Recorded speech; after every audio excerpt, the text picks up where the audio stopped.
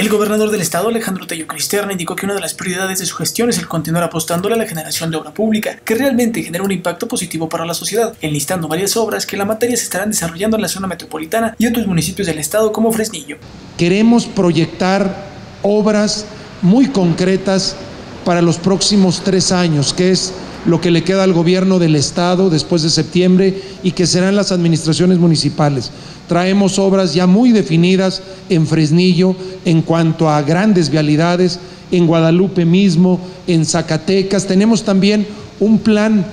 que en próximas fechas daremos a conocer a la población que consta de varias etapas, muy interesante, que tiene que ver no con planear, sino con hoy tratar de corregir problemas viales que se nos están presentando. En este sentido, Tello Cristerna indicó que una de las zonas que se busca atender con mayor énfasis es el cruce vehicular en la zona de los supermercados y la colonia Tres Cruces, que históricamente ha generado grandes problemas de tránsito. El que se presenta entre esas dos tiendas muy grandes que están en el bulevar y la colonia de enfrente, todo ese complejo se, se, ha convertido en un problema de tránsito y estamos buscando soluciones que incluyan obviamente a tránsito pesado,